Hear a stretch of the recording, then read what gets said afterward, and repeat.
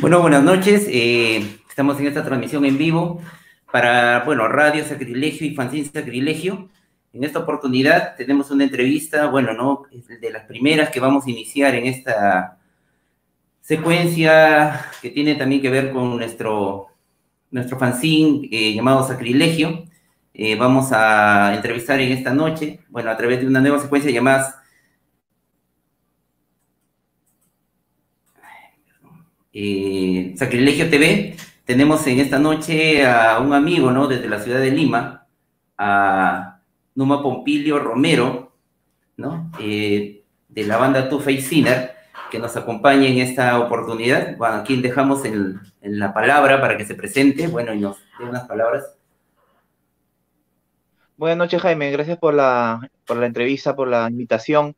Este, saludo a, todas las personas que nos están viendo en este momento. Este, soy ávido a tus preguntas. Bueno, eh, disculpando también un poco la demora, esta entrevista estaba pactada para unos minutos antes, pero eh, comenzar ¿no? con una, una, pregunta tan básica que es, eh, ¿desde qué tiempo viene formado tu Faciner?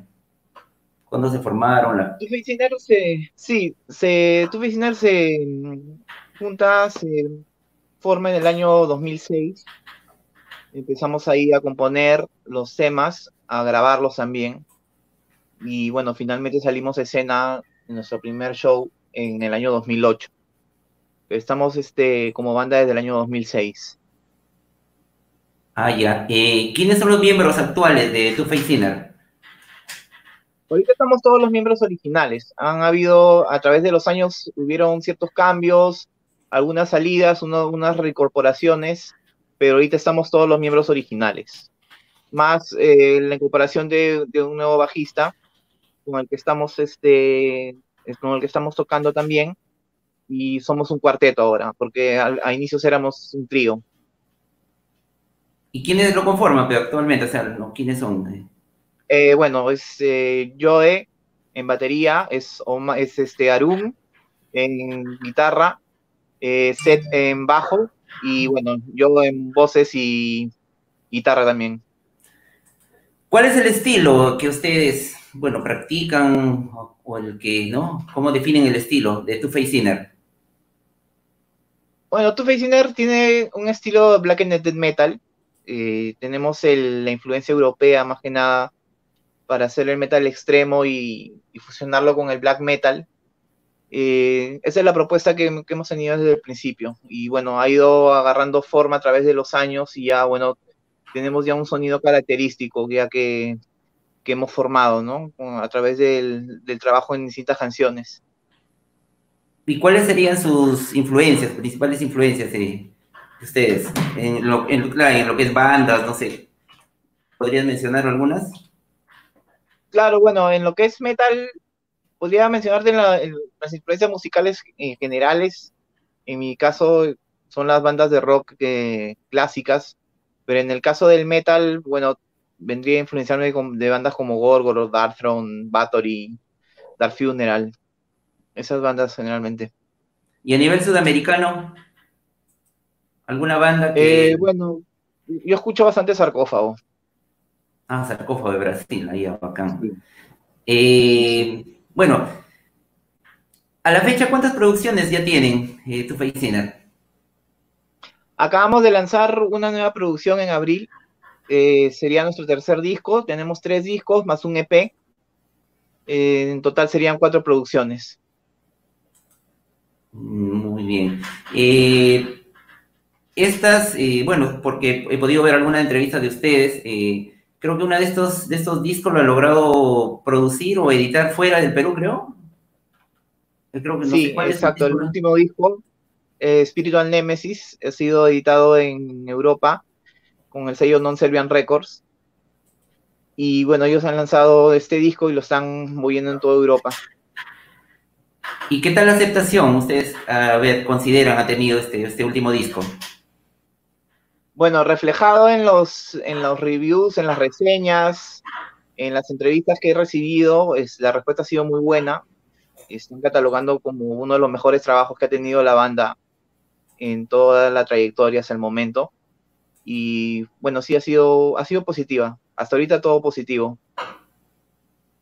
Y qué, bueno, y, el respecto ya, bueno, este año 2020 con todo lo que se está pasando, la pandemia, bueno, esa cuarentena, ¿qué proyectos, bueno, se, quedaron, como dice, ¿no? En, el tintero o ahí suspendidos de ustedes? ¿Qué proyectos que, que iban a, desarrollar?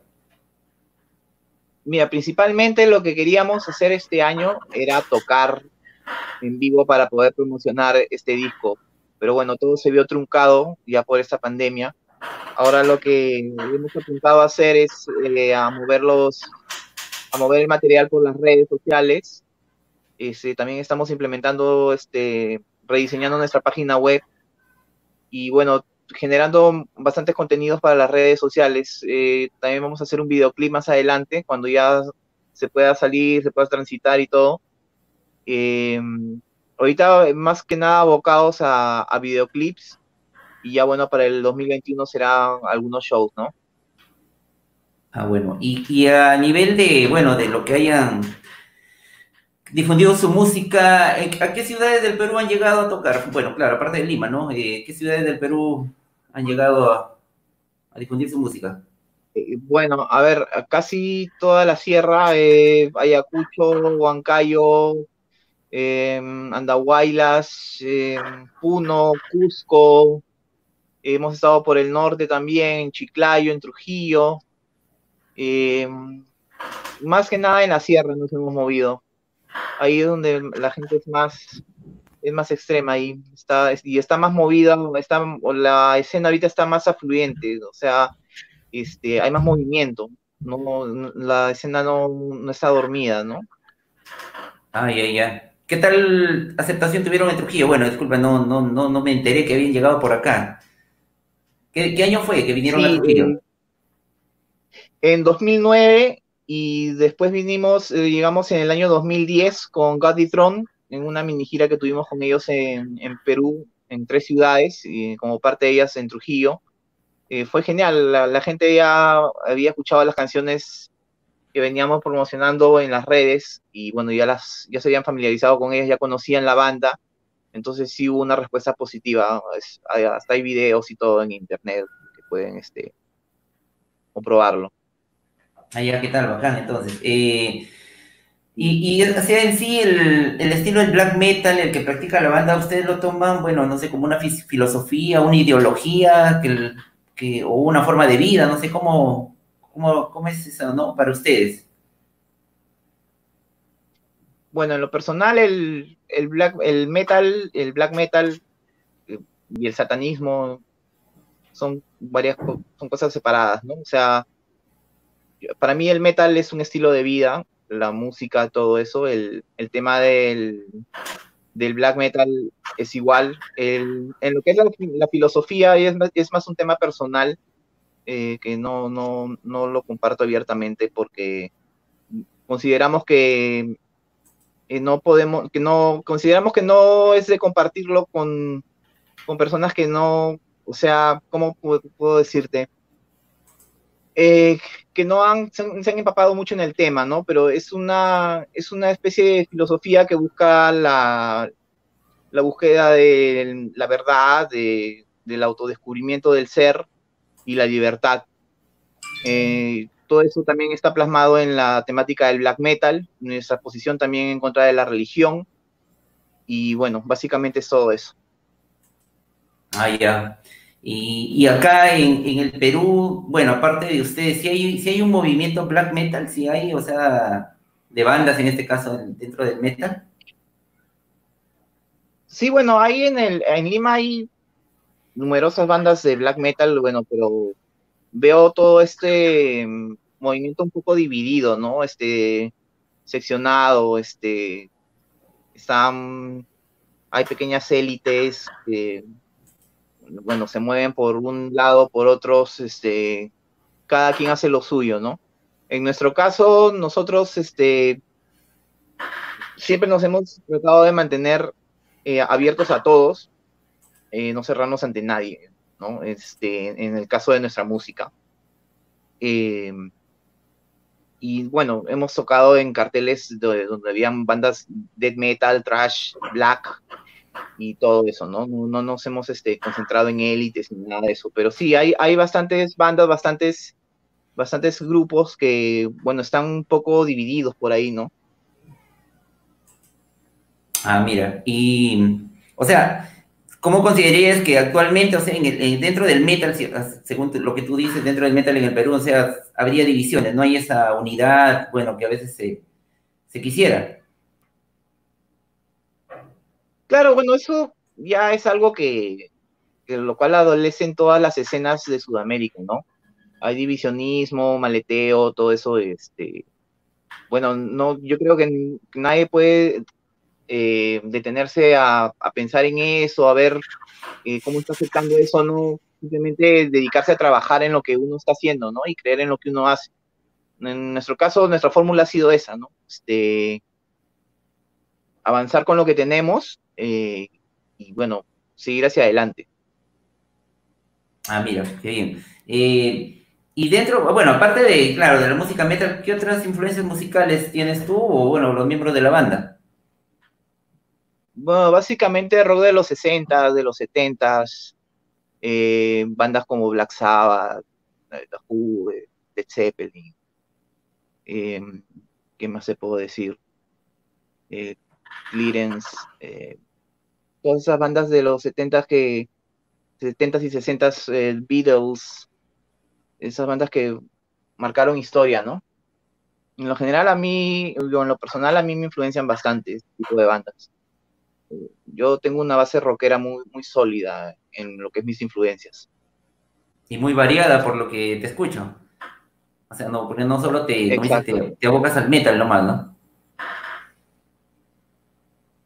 ¿Y qué planes, eh, bueno, bueno, claro, superado toda esta situación, ¿tienen alguna oferta, alguna propuesta, por ejemplo, de salir a tocar fuera de, de acá del Perú? ¿O ya lo han hecho? No sé si... Sí, mira, para este tipo ya hemos salido a tocar fuera de Perú. Hemos ido a Centroamérica y a Sudamérica. Hemos ¿A qué lugares? En Bolivia, hemos estado en Costa Rica. Este, sí, en Bolivia y en Costa Rica. Este, para lo, para 2021 estamos, bueno, para ese tipo de cosas hay que trabajar en ellas, porque no, no vienen solas. Ahorita en, en ese momento nos encontramos trabajando en ese tipo de, de proyectos para que se den, este, para 2021 sí hay planes de, salir, de, ir afuera, pero se necesita trabajar duro para eso. Entonces, este, en eso estamos. Eh, dicho sea de paso, la, este tiempo de, encierro sirve para ponerse más en contacto con personas y poder moverse con tiempo, ¿no? Para poder hacer las cosas con anticipación. Ah, ya. Eh, bueno, y y a nivel, o sea, del, Perú, claro, tú lo has mencionado, han ido por Ayacucho, por, bueno, la sierra, y, ahí sienten que han tenido más, más aceptación, o bueno, o, la gente acepta bastante lo que es el estilo de tu Sinner. Sí, en realidad tienen bastante arraigado el, gusto por el black metal y este, son, bien, son bien intensos al momento de, de percibir el show. Entonces, este, sí, hemos tenido buenas experiencias en, en la sierra. Siempre, siempre que hemos ido a la sierra le hemos pasado muy bien. Este, me gustaría que en el norte pudiera, pudiera volver a estar así otra vez, porque hace mucho tiempo que creo que está un poco dormida la escena por el norte. Este, y sí, en la sierra ahorita todo ese movimiento está ahí latente. Allá. Eh, bueno, eh, ¿Y su material, ustedes lo distribuyen directamente o acá tienen alguna, bueno, alguna, alguna, hay, bueno, alguna tienda o alguna distribuidora peruana es la que se encarga de mover su material? Es, es, diverso, mira, eh, nosotros contamos con copias de nuestro material, eh, si alguien se contacta con nosotros podemos vendérselo directamente o pueden ir a, a las principales tiendas de metal, a Moving Sound, por ejemplo, y van a encontrar material de Face Sinner. En el caso de nuestro nuevo disco, va a ser ya distribuido por toda Europa, incluso en el catálogo de Season of Mist. Eh, eso ya es, otro lote, ya se va a mover ya de una manera más masiva. Pero sí, ahorita nuestro material está disponible en lo que es Lima, eh, tanto en, distribuidores eh, de metal de acá de locales y también con la banda directamente. Eh, creo que su último disco, me parece, bueno, lo según lo que he podido algo averiguar también, es en, vinilo, ¿no? Lo han logrado editar, ¿no? El último disco. No, en, en CD, en CD lo hemos editado. Pero creo que uno de sus discografías, eh, uno, pero uno de algunos de sus, de lo de la discografía de ustedes, eh, creo que es en vinilo también me parece, ¿o no? Según también que he visto creo en su fanpage, me parece. Aún no hemos hecho ediciones en vinilo. Ah, mira, ahí, ahí, ya. ¿Y qué tal? Ese también es un proyecto que posiblemente buscan hacerlo. Obviamente. Sí, justamente tenemos un plan de eso para eh, los 10 años de nuestro primer disco. Este año se cumple 10 años de nuestro primer disco y bueno, ahí si las cosas salen bien, pues eh, pienso que podría ser una edición en vinilo del primer disco de la reedición. Ah, ya, miren. Y ya, bueno, y entonces, eh, bueno, ya... Algo también que le escuché en una entrevista a, ti, bueno, lo escuché que pensaban sacar, creo, un tema en, en quechua, algo así, creo, en un futuro, un futuro trabajo. Ah, sí, está entre mis planes hacer eso, de poder hacer un tema en quechua, bueno, poder este, empaparme más del, del dialecto para poder este, conocer más eh, sobre las palabras, las frases, poder este, armar oraciones y todo, ¿no? Este, me falta aprender un poco de eso, pero sí está entre mis planes para un futuro material. Y bueno, y aparte de, ya saliéndonos de la banda, aparte de, de, ¿a qué se dedican? No sé, los miembros de la banda, tú, no, no sé, los, otros miembros, ¿a qué se dedican? Como dice, para, para ganarse la vida. Sí, bueno, yo soy técnico informática, eh, eh, Arun es diseñador gráfico, eh, yo es músico sesionista y bueno, Seth está todavía estudiando y, también tiene un, empleo de, medio tiempo en un estudio contable. Y como, bueno, siempre escuchan, eh, lo, he escuchado, ¿no? Si no hubiese sido dedicarse a la música, ¿qué se dedicarían a otra cosa? Si no fuera, ¿no? A tu face Eh, quizá hubiera seguido mi carrera de psicología. Ah, estudiaste psicología. Estabas estudiando. pero bueno, lamentablemente le quitaron la licencia a mi universidad y ya no pude terminar la carrera. Ah, pero bueno, en otra universidad lo podrías continuar, ¿no? Bueno, hay otras opciones. Ahora Sí, sí, sí, bueno, pero ya son temas que ya por el momento escapan de mi, de mi control. Bueno, claro, ¿no? Sí. Bueno, eh, ¿algo más que deseas agregar? No sé, no más, no sé, algo que desearías agregar. Sí, sí, claro. Eh, mira, me gustaría invitar a todos para que escuchen el nuevo material. Está en todas las plataformas digitales, está en YouTube, está en Spotify, eh, está en Deezer, pueden encontrarlo en todas las plataformas, está el nuevo disco para que lo puedan escuchar gratuitamente. Eh, bueno, si quieren apoyar a la banda también pueden comprarlo en la página web de nuestro sello, Non Serbian Records. Eh, y bueno, se vienen novedades con el tema de videos para la banda. Y eso es, eso es lo que tenemos por el momento para, para ustedes. Y, esta parte, disculpa, de los videos ahorita, bueno, ya que se levante eso de la cuarentena, lo van a lograr, bueno, no sé, reunirse y claro, poder estar en todo eso. Cuando ya se pueda transitar libremente, exacto, ya pasando fin de mes será, pues, ¿no? Claro, ¿no? Sí, porque está un poco difícil la cosa ahorita. Bueno, pues mi estimado Numa Pompilio Romero, te agradezco. Bueno, esta entrevista ha sido un poco corta. y bueno, eh, no creo que sea la, primera ni la última vez que podamos conversar. Estamos siempre llanos a apoyar eh, a toda banda, ¿no? Eh, especialmente peruana, ¿no? Estamos en este caso. Y acá, cualquier momento que ustedes deseen, ¿no? Y podemos apoyarlos para seguir difundiendo su, material. Claro, te agradezco más bien por la por el interés y por, por el espacio que nos das. Para nosotros es muy valioso que, nos den este espacio en los medios de comunicación. Y nada, agradecido con toda la gente que ha estado escuchando y ha estado viendo la entrevista. Te agradezco a ti también.